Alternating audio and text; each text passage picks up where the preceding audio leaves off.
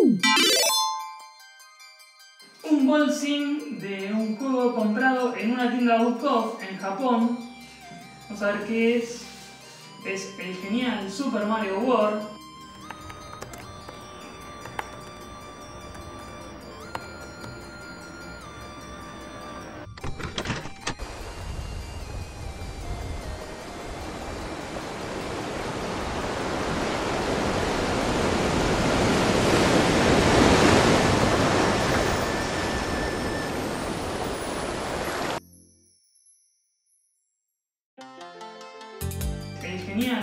Mario World.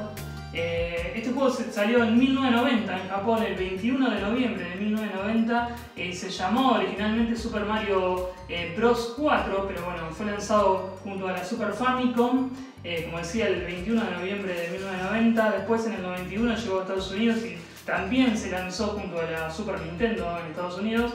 Y en Europa llegó un año más tarde, en el 92, y también tuvo su versión de lanzamiento, aunque también el juego, como podrán ver, se lanzó eh, de forma, digamos, independiente de la consola, se podía conseguir. Este es un cartucho que ahora lo vamos a abrir, que está eh, nuevo, con su bolsita, digamos, con su plastificado original.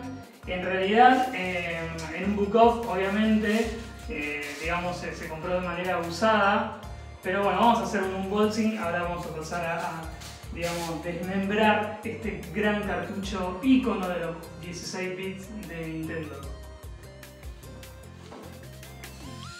Bueno, acá pueden ver el precio del cartucho cuando lo compré. Si mal no recuerdo, fue en mi segundo viaje a Japón en 2017, por lo que esos 200 yenes fueron algo así como 500 pesos argentinos, que hoy en día, con toda la inflación que tenemos en este país, 200 yenes equivalen a 1.400 pesos, es decir, 19 dólares.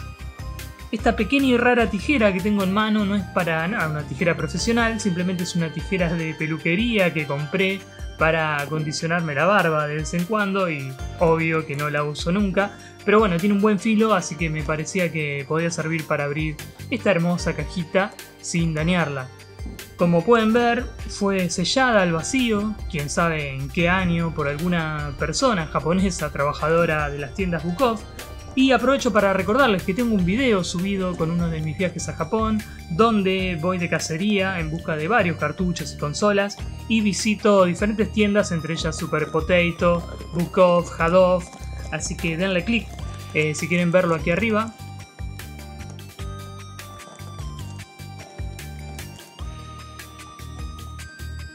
Bueno, quizás no se ve del todo bien por la luz, pero la caja está impecable realmente.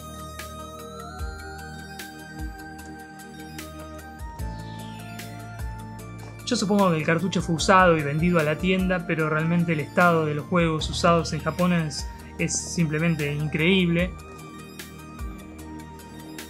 Hay una conservación total de las cosas en Japón, por lo que aquí ven el cartucho, la cajita plástica que lo preserva en su interior,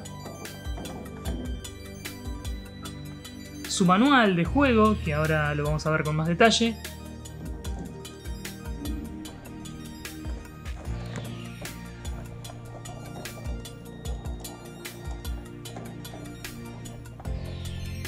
y el cartucho en cuestión con este label hermoso que tiene.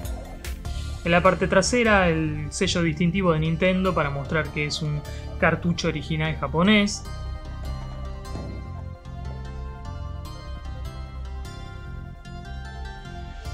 Y finalmente el manual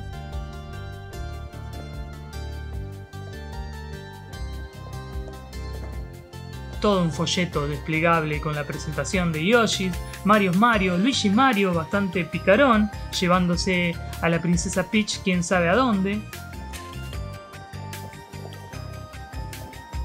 Folleto que por un lado funciona como tutorial con los movimientos, power-ups, ítems, la explicación del juego para dos players y por otro lado ilustra el extenso y genial mapa del juego dirigido por Takashi Tetsuka y diseñado y producido por Shigeru Miyamoto.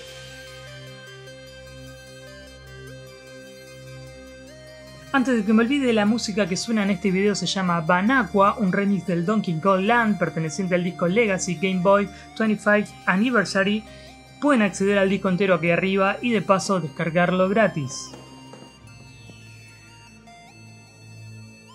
Hasta aquí llegamos entonces con este primer unboxing, por lo que si les gustó este video, déjenme un comentario ya que tengo ganas de hacer muchos más, cuéntenme de qué juego les gustaría un unboxing o de qué consola, y no sean mala onda y suscríbanse a este canal, y como si estuvieran jugando al Twinbee de Konami, no se olviden de darle a la campanita.